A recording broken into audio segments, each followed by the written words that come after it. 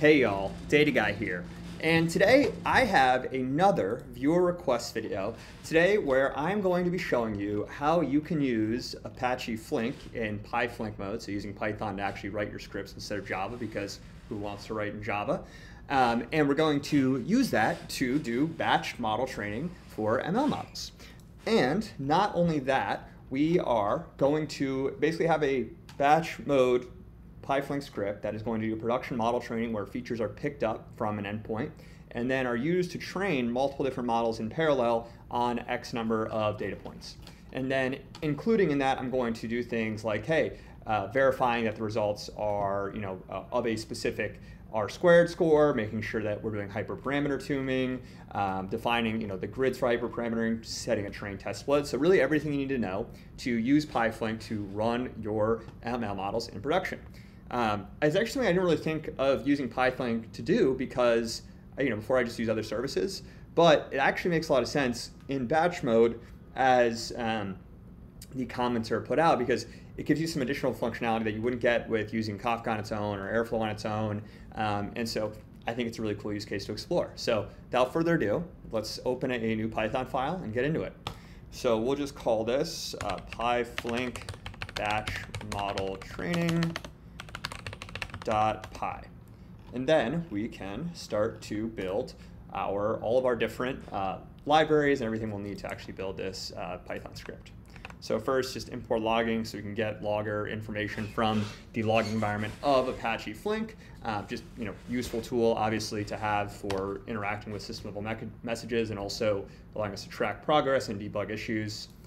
Then we're also going to import a whole slew of different libraries here. So we have pandas for manipulating data in kind of in a pandas data frame. We have the sklearn, a few different models from sklearn. So we just use publicly available scikit-learn models. We have linear regression, decision tree regressor, train test split functionality, grid search, CV, so we can do grid searches. Then we also have mean squared error and R2 score, so getting those values from our resulting models. And then we also have a standard scaler for scaling our models, normalizing our data, making sure it's all of a uh, normalized format so we don't have any outliers influencing the results too much. Then for here, PyFlink data streams is just setting up our PyFlink environment. Kafka, so you can produce or consume information from a Kafka topic and use that as the features we're going to use to uh, input into our model. Then we have the map function for mapping and passing data between functions and having a function occur during that transfer process. Table environment data types for creating tables and using different data types within PyFlink. And then schema, CSV, and file system for uh, creating data schemas, CSVs, interacting with our local file system and then also joblib for bringing in some of the build packages for actually building and running uh, the PyFlink environment. So once we're done with that, then we're going to define some parameters. So we've got all our packages, all our libraries. Uh, here, we're going to want to put a path to our input data, so the input data that we're going to want to input and path to. Then we also have our output path, so where we're going to store the results uh, of our model training. So this is the raw data, this is the model results. This is saving the actual model themselves, so path to save that wherever you're running Flink. And then we also have our Kafka server where we're going to be consuming from and the Kafka topic you want to be consuming from that's running on that server. So just some general formatting because we're going to be using these variables all throughout the script, so better to define them at the top and then be able to just reference them as needed. So if we ever need to change the input or output results, we can do that easily in a single location. So now we've got our variables all written down. Let's also initiate and just set up our PyFlink environment. So here, this is just going to be setting up our PyFlink execution uh, task environments. So stream execution environment is the entry point for actually executing programs within Flink.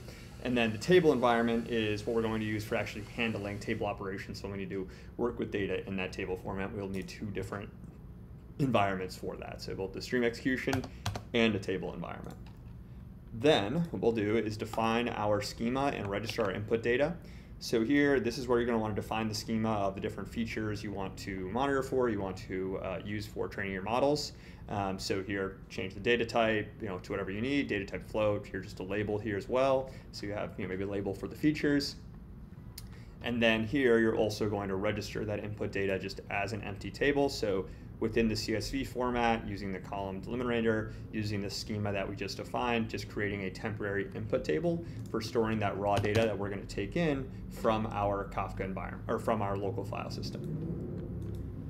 Then what we'll do is read that input data into a table. So here, basically from that path, the input table path here, um, we're going to read in our data and then convert it to a pandas data frame. So here, input table, and then split our data into features and labels. So features are what we want to use as our measurable inputs to try and predict this Y label value. Um, so once we're done setting that up, segmenting our data into the predictive values and the value we actually want to predict, um, then what we'll do is set some feature scaling using that standard scaler we imported. So here, creating a standard scaler instance, and then we're going to use that standard scaler environment to standardize your features by removing your mean and scaling to unit variance so any outliers are conformed to a normalized scale. Um, so while you know they still will appear as being close to their value, if it's a really extreme outlying, that distance from you know its closest value is, is condensed is kind of a good way of thinking about it. Then the next thing we're going to need to do is actually splitting the data into testing and training data sets. So here X train, X test, Y train, Y test. Here, uh, test size 20%, random state 42. So it doesn't just going to split like, hey, first 20% and then 80%. This will randomly pick 80% and 20%. So if you do this multiple times with different random states, you can have different training and testing data sets, which can be useful for uh, kind of dialing in how you're training your model and what's being used for it. Then we will define our models in hyperparameter grids. So here we're going to register a linear regression model and a decision tree model, just in this model as array. And then we're also going to define our hyperparameter grids for tuning. And in machine learning, a hyperparameter grid is a predetermined grid that's going to define potential values for each hyperparameter. And a hyperparameter himself is an external configuration variable that you can manually set to manage kind of how it learns. So here, this is where you know you can say, hey, I want to use linear regression decision tree with these max depth values of 3, 5, 7, 10. So you can kind of tweak how that model is actually going to function. Um, and so here you have your hyperparameter grid of 5, 3, 5, 7, and 10. Next, what we'll do is actually train our models and perform some hyperparameter tuning.